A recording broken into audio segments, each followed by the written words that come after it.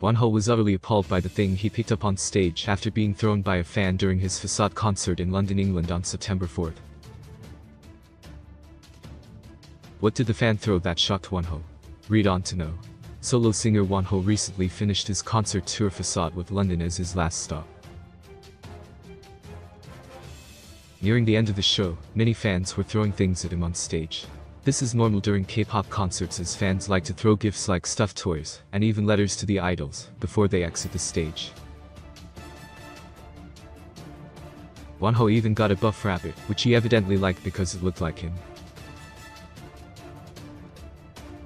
However, there was this one particular object where he picked up, and he was shocked. Wonho quickly let go of the thing that the fan threw at him on stage after he realized that it was underwear. His backup dancers got curious about the thing he suddenly let go, so one of them picked it up. The dancer was also shocked that it was a female's underwear, and threw the object away. After the event, Wonho did not let it faze him and continued talking to the fans. Some WENEEs, Wonho's fandom, however, guess he was not happy about the gesture.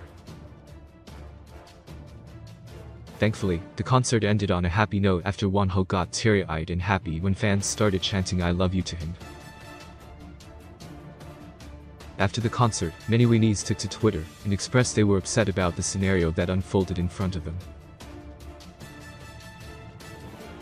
Wonho's fans were dismayed by that one fan who threw her garment. It was completely shown on the idol's face that he was shocked, appalled, and got a bit upset that someone threw such a personal belonging at him. Some fans also claimed the vibe of the concert hall changed after the incident happened. WENEEs also said it is Wonho's task to collect and show the public the bra collection he got after a show. Many WENEEs have reprimanded the fan on Twitter, saying things like that fan must have been new or did not know the solo singer at all, because it is not his personality to be happy about something like that. Meanwhile, on September 2nd, Wonho held his facade concert in Madrid, Spain. During the middle of his concert, the fans were signaling to him that one fan fainted.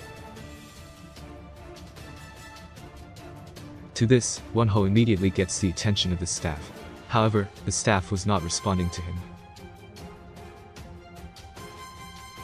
He then raised his voice and called the staff, again and again, to get their attention and quickly spring into action. This was the first time that many fans heard and saw the idol raise his voice. Many WENEEs appreciated his quick action and thanked him for it. They know that Wonho treasures his fans so much and this is just one of the many proofs.